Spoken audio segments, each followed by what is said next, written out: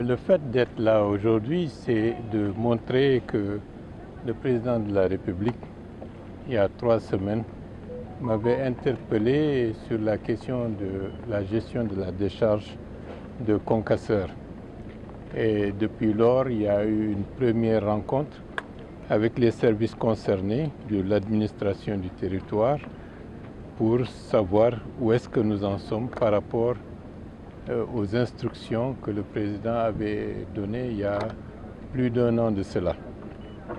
Il s'avère qu'il y a beaucoup d'aspects qui n'ont pas été pris en compte pour trouver une solution radicale en ce qui concerne euh, le nettoyage de la décharge.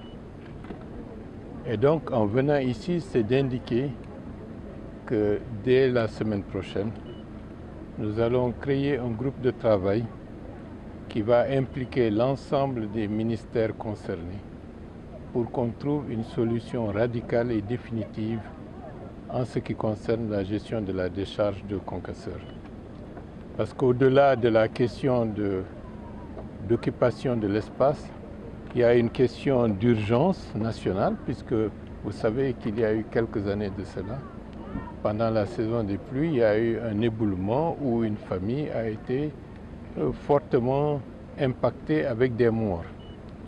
Et ce ne serait pas admissible qu'à la suite de cela, que quelques années plus tard, par négligence ou par euh, laxisme, on attend à ce qu'il y ait de nouveaux drames pour réagir, d'où la nécessité de prendre d'ores et déjà, avant la saison des pluies, des mesures qui nous permettront de fermer la décharge et de trouver des solutions alternatives efficaces pour nous permettre d'améliorer le cadre de vie en prenant en compte la, la question humaine des populations environnantes, qui dangerosité de la présence d'un gaz qui est ex, extrêmement explosif, le méthane, au niveau de ce site.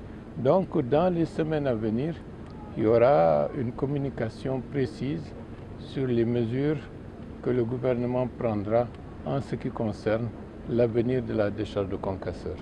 Et avec l'aide de Dieu, j'espère que ça nous permettra de récupérer un espace urbain qui a besoin d'être assaini pour une meilleure, euh, disons, salubrité de la ville de Conakry, mais également pour un cadre de vie beaucoup plus sain pour l'ensemble des populations de, la zone et en fait de l'ensemble de la ville de Conakry.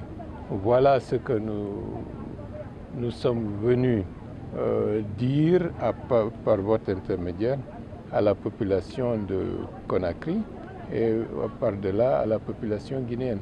La question de la décharge de concasseurs est au même titre que le dépôt de carburant une préoccupation essentielle du président de la République. Il faut qu'on trouve des solutions et on les trouvera. Merci. Depuis en 1977, moi je suis là. En tout cas, jusqu'à présent, malgré les dangers qui pèsent sur vous, vous avez préféré d'y rester Oui, oui. On est, on est libre. Pourquoi on a accepté de rester ici? Si tu es libre, tu vas faire ce que tu veux. Vous n'avez pas où aller? Oh? Vous n'avez pas où aller en quittant ici? À, à l'heure là, on n'est pas de ça. Ça me dérange, mais qu'est-ce que je peux C'est qu'est-ce que je peux Moi, je suis fort, mais l'État est plus fort que moi. C'est lui qui est mon chef.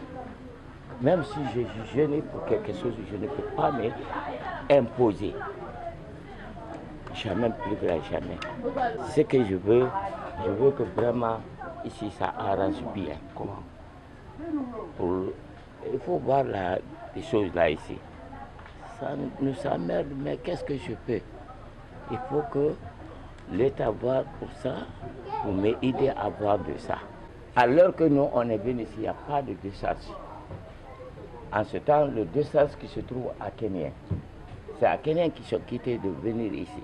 C'est une joie immense. On n'ici attendait pas l'arrivée du Premier ministre dans notre secteur, dans notre quartier, précisément à Dar à la décharge.